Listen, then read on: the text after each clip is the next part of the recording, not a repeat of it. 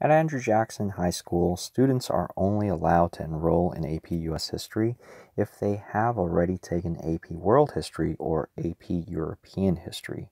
Out of 825 incoming seniors, 165 took AP World History.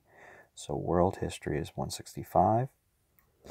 Uh, 66 took European History, so European, there are 66 of them and 33 took both. So both of them. So W and E took are 33. Okay. Given this, oh, and there's a total of 825 altogether.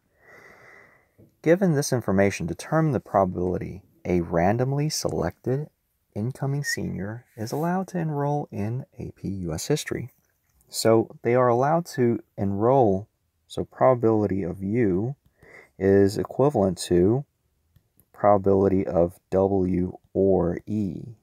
And why is that? Well, that's because they will uh, only allow students who to take U U.S. history if they have either taken world history or European history. So the probability of students taking U.S. history is equivalent to the probability of um, students who have taken world history or the probability of students who have taken European history.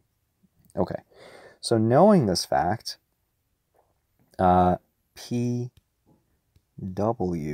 or E will be equivalent to because there is this inter um, because there is uh, this condition okay that um, and this overlap the formula for calculating the probability of uh, students, finding students who have taken world history or European history, is not simply the addition of these two probabilities, but we have to also subtract the probability of um, students taking both subjects together. So W and. So if we apply this conditional probability uh, formula, we can then uh, solve for the probability of students who have taken U.S. history. So looking at this, I know that PW is 165 over the total, which is 825 and the probability of students who have taken European history is 66 over 825. And because there's an overlap, we have to subtract. So, uh, and that would be 33 over 825. And what would that be? That would be 160, no, 198 over 125, over 825 then.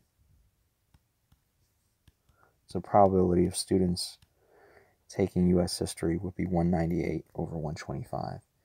And, uh, and a visual way of thinking about this is, you know, we have this Venn diagram where, you know, in one group here is students who have taken world history, another group here are students who have taken European history, and then overall are all the students altogether, there's 825 of them.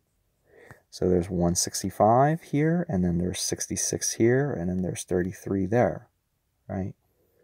We're looking for the probability of W or E, right? So we need all of this area and add it with all of this area, right? So how are we going to do that? So again, the visual way of thinking about is about this is 165 over 825 plus 66 over 825.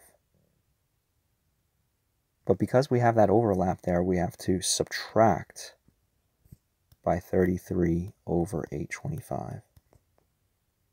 Right? Because the 165 and the 66, they take up um, like all of those two things together. So that's why we have to subtract out that area, which I'm going to highlight in red.